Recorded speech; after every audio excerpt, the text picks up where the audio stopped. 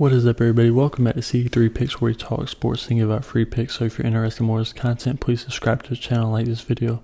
Also, if you're interested in my sports pick group or my Instagram, that'll be in the description. Also, let's get this matchup between Indiana State, Northern Iowa. Indiana State 10 and 7 on the season, 7 and 5 in conference play, which is fourth in the Missouri Valley Conference right now. Not terrible, honestly. Um, haven't haven't been a great offensive team. Uh, 262nd in nation for points per game, 135th for points scored, 137th for three point free throw, 69. So, not great offensively. But this Northern Iowa team, they aren't the best either. Free throws 270th in the nation, 3.177, field goal percentage 134, points per game 216. So same scenario with them, not very good offensively, but Northern Iowa just hasn't been winning much games. Five and eleven on the season, three and seven in conference play, which is the third worst in the conference, and they haven't really beat any of the good teams either.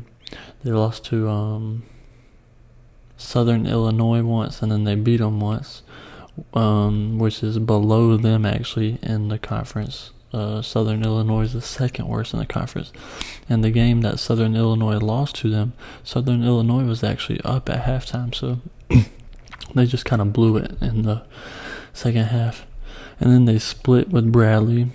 Bradley's only one spot ahead of them. Also, got blown out by Loyola Chicago in both games. Got beat by Evansville in both games. Split with Missouri State, which is right above no, which is right below Indiana State in the conference record. So this is just a, a spot that's a. I don't really like Northern Iowa here. Indiana State, they need this win, obviously. Northern Iowa, they're way down there. They don't really have a chance right now, but Indiana State, they don't they can't afford too many more losses. And the fact that they're the underdog here is a little bit interesting with how bad Northern Iowa's been this year. On my book, I have Indiana State at plus two. I'm going to take Indiana State plus two, and that's going to be my free pick. If you're interested in more of this content, please subscribe to the channel and like this video.